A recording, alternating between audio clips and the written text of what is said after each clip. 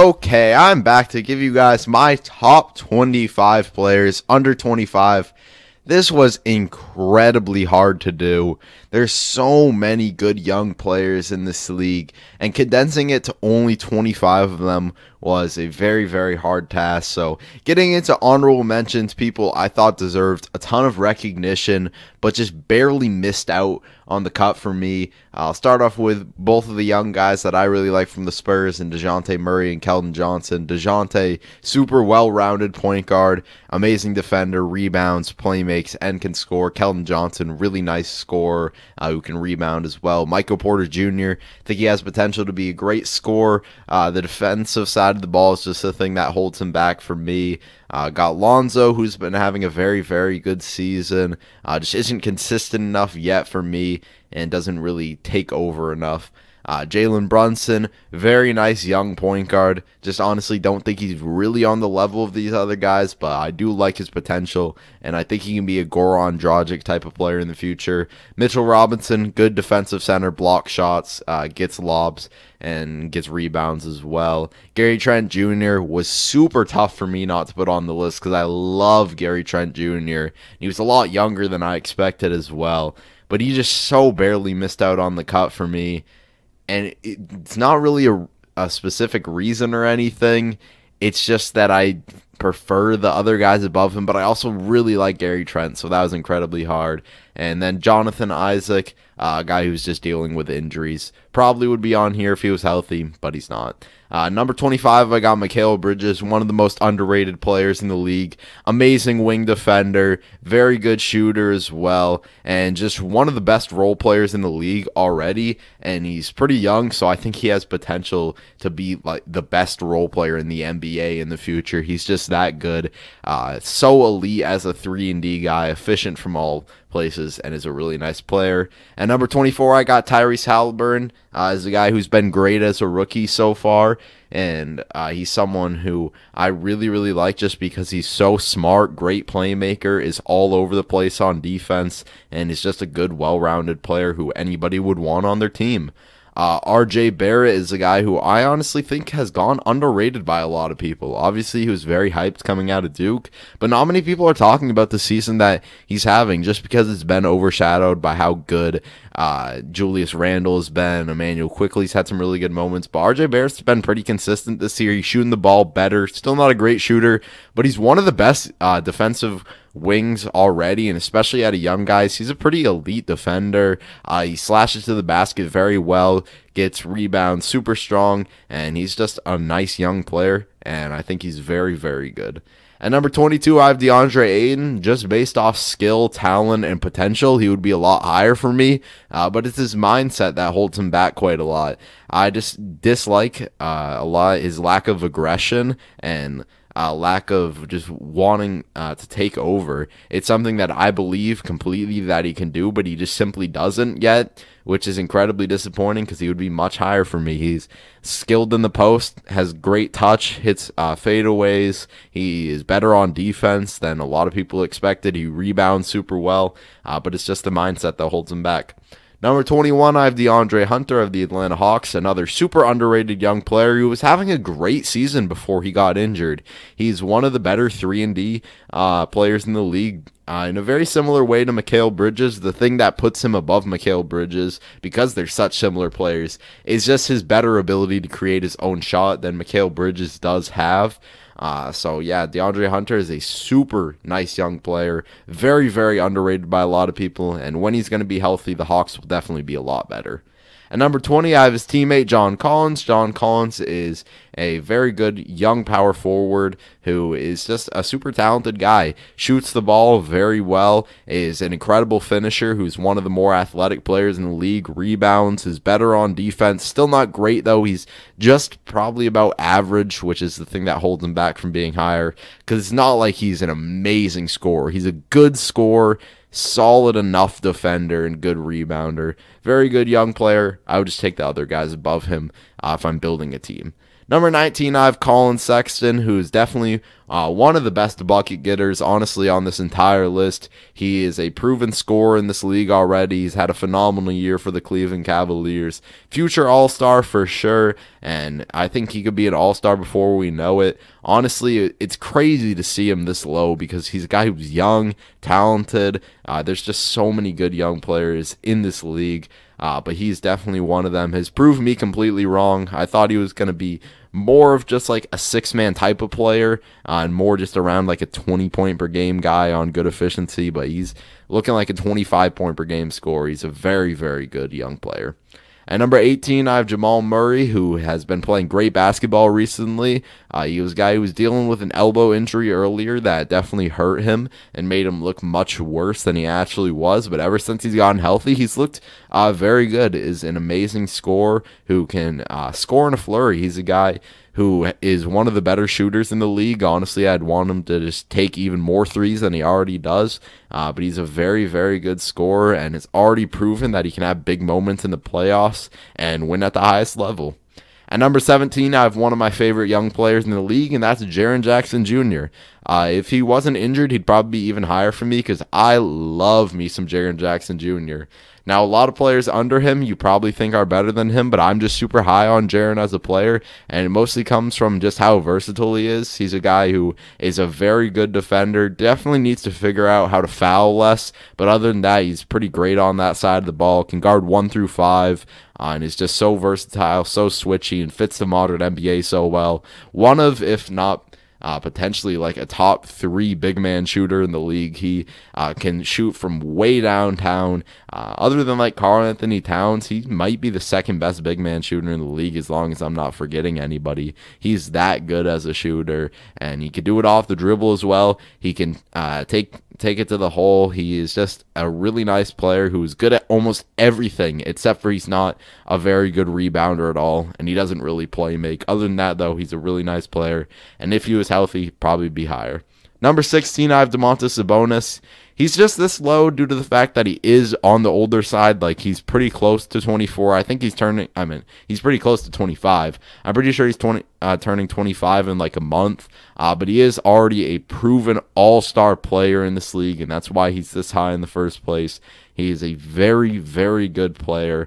Uh, a guy who is one of the best post scorers in the league, has phenomenal touch around the basket, has expanded his range this year, elite rebounder, great big man playmaker, and he's just a really, really nice player in this league. Uh, I would love him to be better on defense, but he's already so good on offense that he des- definitely deserves a lot of recognition on this list.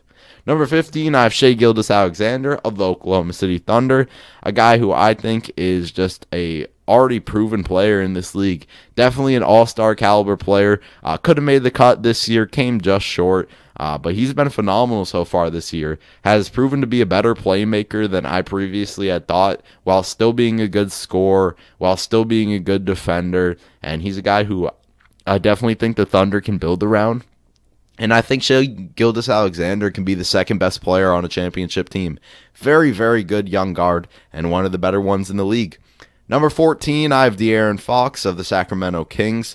Uh, he's definitely in that similar range uh, to Shai Gilgeous-Alexander, but I would just take him mostly uh, due to the fact that I think he is a more proven playmaker, and I think they're both on a similar level as scorers. I would take Shai slightly over him, but I would also take Fox on the defensive side of the ball. Uh, but they're both really good players. Uh, it, it's honestly just comes down to personal preference. I just like De'Aaron's ability to push the pace and play in an up tempo, uh, high speed style of basketball due to him being one of the fastest players in the league. Would love him to be in another place where he could get more recognition because uh, he definitely deserves it. Very, very good young player, and I love me some De'Aaron Fox. Number 13, I have Brandon Ingram, already a proven bucket getter in this league. He's uh, definitely just one of the better scorers already. My one thing is, though, is just he doesn't do much outside of scoring. He's a good playmaker, don't get me wrong, but he's not really anything as a rebounder that's special at all. He's a below average defender.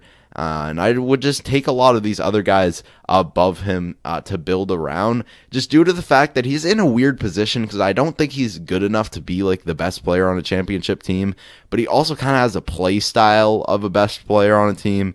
Uh, so it's definitely interesting with Brandon Ingram. Still great young player, uh, but I would just take some other guys over him. Number 12, I have Ja Morant, who I definitely think is overrated as far as how good he is right now, but I still think his future is super bright. Uh, other than the three point shot, which he definitely needs to figure out, don't get me wrong, he's everything you'd want in a young guard, with him being super athletic, phenomenal vision, one of the better playmakers in the league, finishes at the basket well, great leader, too, a uh, guy who's already proven he can win games uh, and he can lead a team at such a young age. Uh, definitely a very, very good young player. I do think he is being overrated by a lot of people, but he's still a guy you could build around, still a guy who I think is going to be great in the future. Uh, number 11, I have Donovan Mitchell. He is a guy who's uh, a bit older uh, compared to a lot of guys on the list, but he is uh, just a proven guy in this league.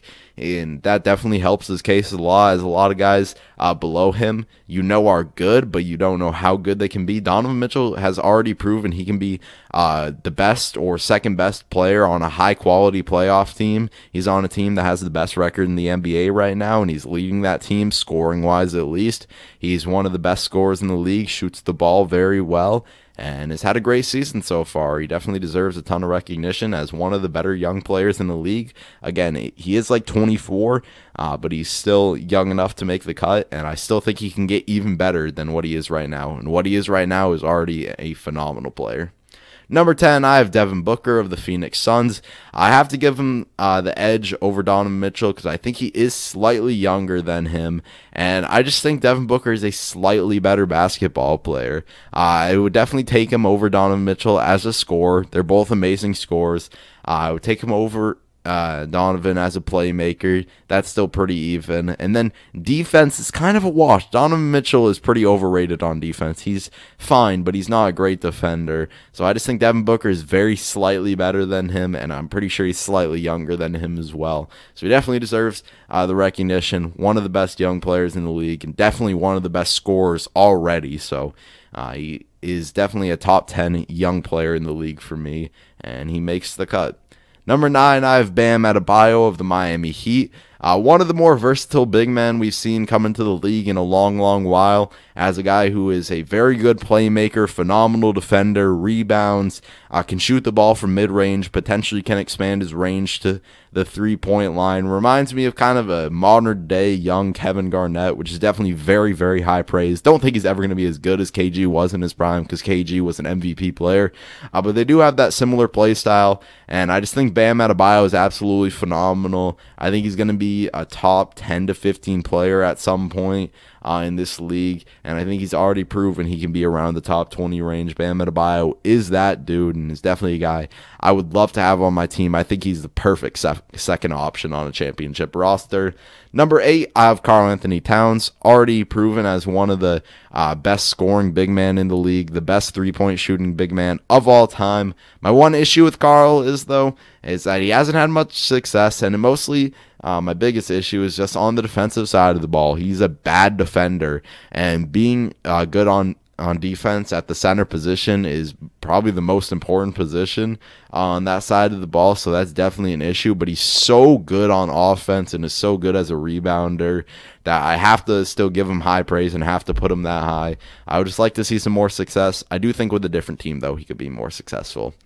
At number seven, I have Trae Young of the Atlanta Hawks, and he's someone who I'm probably a little bit lower on than uh, a lot of people, just due to the fact that I don't know if a guy who is that bad on defense can be the guy on a championship team. I think a team has to be built so perfectly around Trae Young that I would take other young uh, point guards to build around. You'll see some of the young uh, point guards I have above him because this, my criteria mostly for this list is just strictly who would I build around. Obviously, there's other stuff that comes into an uh, to it as well, but mostly it's just who would I build around. And Trae Young, I wouldn't build around him uh, over some of these other young point guards just due to how bad he is on defense. He's obviously an incredible playmaker, honestly underrated as a playmaker. He's so good at playmaking, great score. Uh, but I just don't know what the ceiling of a team with him as the best player is. Trae Young is great, uh, but I definitely have some questions about him and his future, and I do think he's overrated by some people. Number six, I have LaMelo Ball of the Charlotte Hornets. And this may seem a little crazy to put him over Trae Young, but I would build around LaMelo Ball over Trae Young. And it mostly comes from something that you'll see with all the young point guards in the league that I have above Trae, which is spoiler, uh, LaMelo, Ben Simmons, Luka Doncic. It's their size. Size at the point guard position, for me at least, is something I value a ton. Obviously, you don't need to be a huge point guard uh, to be successful. We've seen Steph Curry be one of the 15 greatest players of all time, uh, and he's only six three. But Trae Young is like six foot, and he's much smaller than these guys. LaMelo is already a better defender than him in his rookie season, and I think he's going to continue to get better on that side of the ball.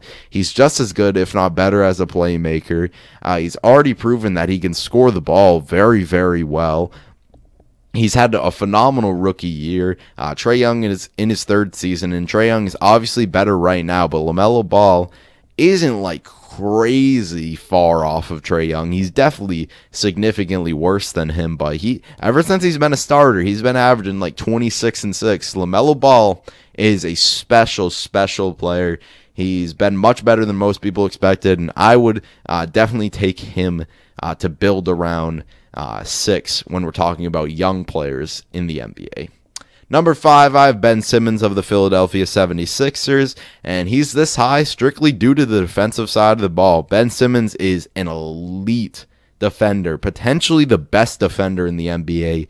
Due to his versatility, he can guard every single position at an amazing rate. He's a defensive player of the year candidate. He rebounds the ball incredibly well, is a phenomenal playmaker.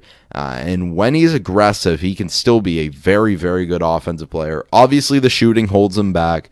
Uh, but I just think of a team that has shooters around Ben Simmons, kind of like we're seeing this year and it's very very successful. It's a super successful formula. Uh, just due to how well rounded he is and even though he isn't the scorer or the shooter that honestly most people are on this list uh, he's so good at everything else that i would still put him as the fifth best player under 25 ben simmons is special and is underrated by a lot of people Number four, I have Jaylen Brown of the Boston Celtics, and he's definitely just emerged this year. If we were talking about this uh, a year ago, I would probably put him maybe like 12 or 13, uh, and that's obviously still good, but he has gotten so much better this year that I definitely think he's a top five player under 25. In my opinion, he's uh, the number four player and it mostly comes from the fact that he's already uh, became one of the best scorers in the league now.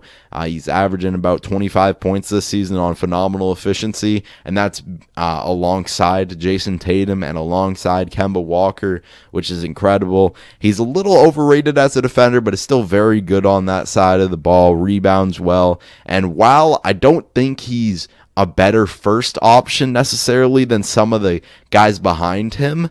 I say those guys are better as first options, but I would take Jaylen Brown as a second option over all of them if I want to win a championship because some of the guys that are below him could be better first options, but I think the ceiling of their team is lower. So honestly, I'd rather prefer a guy who I think is the perfect second option to the cha- to a championship team, and I think that's what Jaylen Brown is. Uh, one of the better scorers in the league, very good defender as well, and an amazing young player. Number three, I have Zion Williamson of the New Orleans Pelicans. I mean, he's already just one of the most dominant young uh, he's honestly just one of the most dominant players in the league as a whole. I was about to say young players, but he's just dominant as a whole. No one can stop Zion Williamson inside. And while he does have clear limitations to his game, everybody knows that he is still so good at what he's good at that I would put him at number three as far as young players. He's getting better on defense, still isn't great, but he's an incredible rebounder, incredible finisher on the interior so strong, play makes pretty well, and I just think uh, if you build a team around him right, there's no stopping Zion Williamson. Special player and definitely deserves to be top three in uh, top 25 under 25. Number two, I have Jayson Tatum of the Boston Celtics is already one of the better scorers in the league as a guy who can literally just do everything on the offensive side of the ball. He's much improved as a playmaker. He's got a very good handle, can hit off the dribble threes, catch and shoot threes, can create his own shot in the mid range, finishes on the interior, good free throw shooter, can get to the line, uh, rebounds the ball well, and is one of the more underrated defenders in the league. Jayson Tatum is a very good defender. People, a lot of people think that Jaylen Brown is a better defender than Tatum. That's just simply not true. I watch every single Celtics game, and I would know that almost better than anyone. Jayson Tatum is a pretty significantly better defender than Brown. He's an all defense caliber guy. He's a defensive playmaker, gets so many steals in the passing lane, but is also a phenomenal one on one defender. Uh, and it's just everything you'd want out of a young player in this league. He fits the NBA so perfectly because this is the direction it's going into. Long, versatile wings who can score the ball at the highest level but can create for others and are good on the defensive side of the ball. We see with most championship teams, that's what they have. We see that with LeBron. We see that with KD.